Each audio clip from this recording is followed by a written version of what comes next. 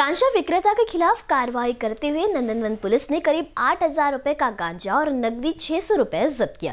वही आरोपी को गिरफ़्तार करने में भी नंदनवन पुलिस को कामयाबी हासिल हुई। इस संदर्भ में वरिष्ठ पुलिस निरीक्षक किशोर नगराले ने अधिक जानकारी साझा की।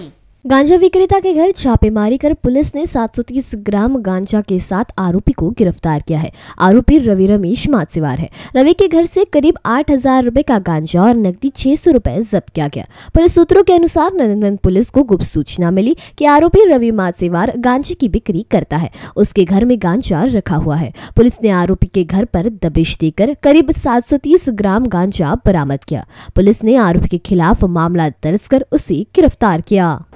दिनांक सोळा तीन दोन हजार बावीस रोजी डी बीचे P S I Rahate A C Siddharth Sandeep Vinod Prem आणि पंकज हे पेट्रोलिंग करीत असताना त्यांना माहिती मिळाली की रेकॉर्डवरील गुन्हेगार रवी माचेवार याने स्वतःजवळ गांजा बाळगलेला आहे. त्यानुसार त्यांनी पंच आणि इतर साहित्यासह आणि एन डी पी एस कायद्याचे तंतोतंत पालन करून सदर घरी रेड केली असता त्याच्याकडे जवळपास आठशे ग्रॅम गांजा मिळून आलेला आहे. रवी माचेवार याच्यावर यापूर्वीसुद्धा गांजा विक्रीचे गुन्हे दाखल आहेत. त्याला अटक करण्यात आली असून त्याचा एकोणीसपर्यंत पी सी आर आहे. सदर इस सदर इस्माने हा होळीनिमित्तच गांजा विकण्यासाठी आणला होता आणि त्यांनी तो सातनवळी बाजार करून आणला असं त्या तो सांगत आहे.